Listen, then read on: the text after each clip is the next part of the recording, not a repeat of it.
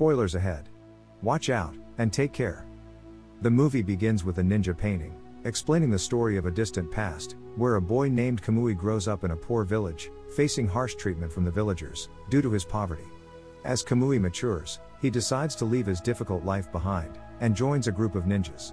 However, he soon realizes that being a ninja requires him to harm others, a path that conflicts with his moral values. Disillusioned, he chooses to abandon the ninja group, but this decision comes with severe consequences. The group views desertion as cowardice, and the remaining ninjas vow to hunt him down, making his escape a perilous journey. His struggle is interwoven with flashbacks to his childhood, revealing the influence of the ruthless leader of the nukenin ninja group, Dumuk. In one critical flashback, Dumuk orders Kamui to attack Mikumo, a fellow ninja attempting to leave the group. During the ensuing battle, Mikumo and Dumuk accidentally injure some of their followers. Despite this, neither wants to harm the young Kamui. Dumuk, wielding a special weapon, wounds Mikumo, but she fights back, injuring Dumuk's eye. Enraged, he retaliates by throwing her into the sea. To Kamui's shock, he reveals that his injured eye was actually a fake, leaving Kamui to grapple with the realization of his deception, and the true nature of the ninja world he's entangled in. Fast forward 14 years, Kamui is on the run from his former ninja group, who are relentless in their pursuit of him. Now a skilled and agile fighter, he defends himself using his extraordinary abilities, including a flying jump, a flying kick, and a variety of other combat moves. He leaps from tree to tree, setting traps for his pursuers, all while demonstrating his unmatched prowess. His special move, the Izuna move, is highlighted, a technique that sets him apart from others. But even more impressive is his unique shadow move, a technique he mastered on his own, which he uses to silently eliminate a ninja he once worked alongside.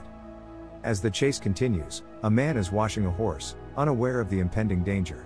Suddenly, Hanbei, another ninja, attacks him, severing the horse's leg in the process. Hanbei grabs the horse's leg and flees into the forest, with Kamui silently observing from a hidden spot. He begins to pursue Hanbei, while Lord Gumbei, the horse's owner and leader of the renowned samurai group, the Matsumi clan, furiously reprimands his helper. Gumbei is no ordinary man, his reputation as a powerful and influential samurai makes him a formidable figure.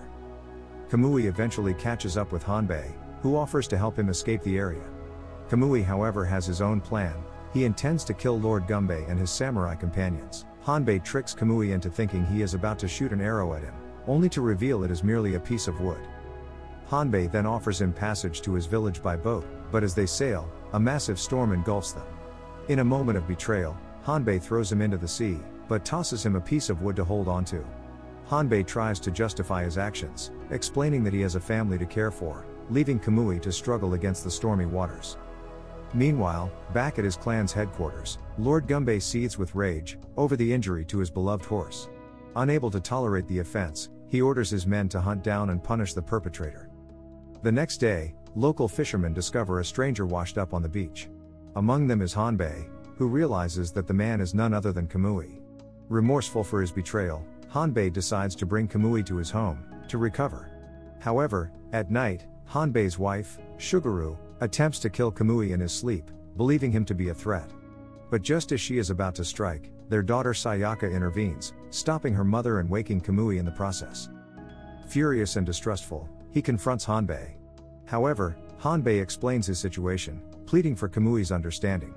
He reveals that he has three children to care for, and his actions were driven by desperation, rather than malice. Apologizing for his earlier betrayal, Hanbei tries to make amends, showing Kamui around the village, which is populated mostly by fishermen. Sayaka offers Kamui a place to stay, taking him to an old house that her mother has prepared for him. But as he steps inside, he narrowly avoids a hidden trap. Realizing this was a deliberate attempt on his life, he accuses Shugaru of setting the trap. At this moment, the truth is revealed Shugaru is actually Mikumo, the same ninja Dumuk had thrown into the sea, years ago, at the beginning. Before he can react, Hanbei arrives, diffusing the tension, as Shugaru hesitates to carry out her attack. At night, Hanbei invites Kamui to join the family for dinner, trying to ease the animosity. However, their peaceful meal is disturbed by Ichito, a young boy who secretly spies on them. Ichito harbors feelings for Sayaka, and becomes jealous upon seeing her grow close to Kamui, fueling his resentment. After dinner, Kamui becomes curious about Hanbei's activities, and discreetly follows him to a storage room. Inside, he discovers Hanbei cutting off horse hooves, which he uses as bait to catch fish, a technique that proves incredibly effective. The next day, the village hosts a big fishing contest, and Kamui joins Hanbei's team. Out at sea, Hanbei reveals his secret weapon, enabling them to catch an enormous amount of fish. Their success not only wins them the competition, but also solidifies their friendship. However, the victory is marred when Hanbei later spots Ichito, sneaking out of the storage room. Confronting him, Hanbei bluntly says he won't allow him to marry Sayaka. Hurt and angry, Ichito storms off. In the evening, Hanbei confides in Kamui, revealing that he knows about Kamui's and Shuguru's pasts. He explains when Shuguru was still a ninja, he had hoped Kamui would stay in the village, to protect her. He expresses his concern for Shuguru's safety, urging Kamui to remain, but Kamui decides to leave, without giving an explanation. Meanwhile, the villagers discover a poster, announcing Hanbei has been placed on the wanted list by the Matsumi clan. Fearing that his presence endangers Shuguru and the village, Kamui resolves to leave, believing it to be the best way to protect them. However, as Kamui is departing by boat, Shuguru suddenly attacks him, leading to a fierce underwater battle. Despite the intensity of the fight, Kamui ultimately spares her, and swims away. Yet, she refuses to give up the chase, determined to confront him. He stops her, revealing Hanbei knows her secret, and reassures her he didn't come to harm her, like her, he is also running from his past. This revelation finally convinces Shuguru to trust him. But when they return to the village, they are met with a horrifying sight Hanbei's house is engulfed in flames. They quickly learn the Matsumi clan has captured Hanbei, with Ichito betraying him, leading the clan to his location. Enraged, Sayaka goes after Ichito, with Kamui following closely behind. The villagers, who now realize Ichito's betrayal, also gather, their anger towards him boiling over, as they confront the boy who has led their village into danger. The next day, a grim scene unfolds, the ninjas prepare to execute Hanbei by shooting arrows at him. A crowd gathers to witness the spectacle, but just as it seems all hope is lost, Kamui and Shuguru arrive in the nick of time. They manage to rescue him, narrowly escaping with him, while also seizing Lord Gumbei's stolen goods. In a show of defiance, they distribute the loot among the villagers, turning the tide of the villagers' sentiment. After the daring escape, Kamui leads Hanbei and his family to the relative safety of Castle Mank Island. Upon arrival, they are met with a disturbing discovery many fishermen have been brutally killed by sharks that infest the waters around the island. Before they can become the shark's next victims, a mysterious figure appears and slays the predator, a seasoned shark hunter named Fudo.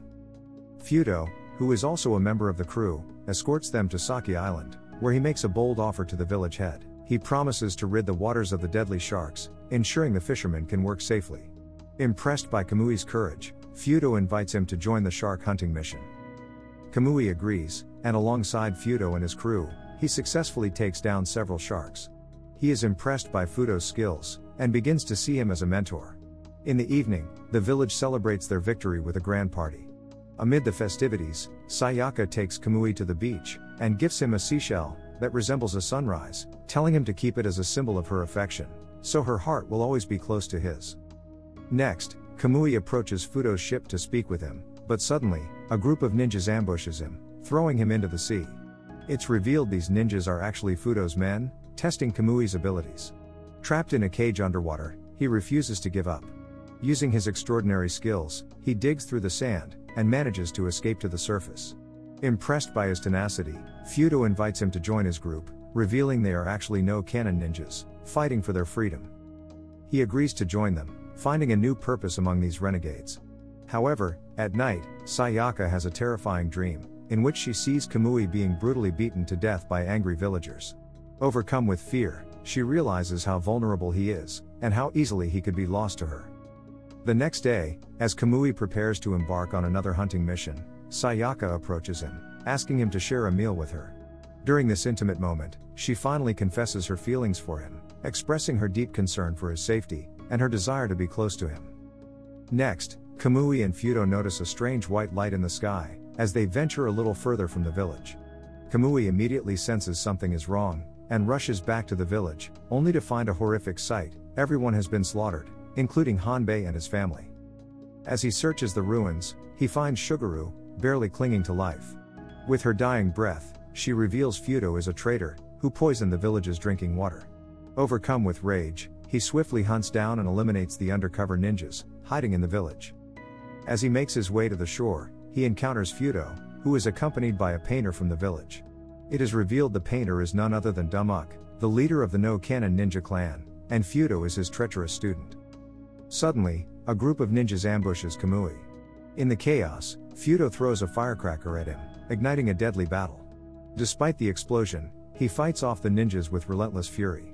Meanwhile, Fudo seizes the opportunity to escort Dumuk to safety. Kamui, having defeated the ninjas, pursues Fudo and Dumuk. He finally confronts Fudo, and a fierce battle ensues. Kamui attempts to use his shadow move to gain the upper hand, but Fudo, being equally skilled, counters the attack. The two warriors engage in a brutal and dangerous fight, each using every technique they know to gain the upper hand. In the end, Kamui manages to outmaneuver Fudo and succeeds in defeating him. In a final act of retribution, he severs Fudo's hands, leaving him to die alone and helpless. Meanwhile, Dumuk, having narrowly escaped, strikes a business deal with Lord Gumbei. Disguised as a painter, he sells a beautiful painting to Lord Gumbei, securing his protection, and planning his next move. As the dust settles, Kamui quietly buries Hanbei's family, mourning their loss. With a heavy heart, he leaves the devastated village behind, determined to continue his journey, even with new challenges. The end. Thank you for watching. Subscribe if you'd like to see more videos like this. Turn on the notifications, and leave a like to help the channel out.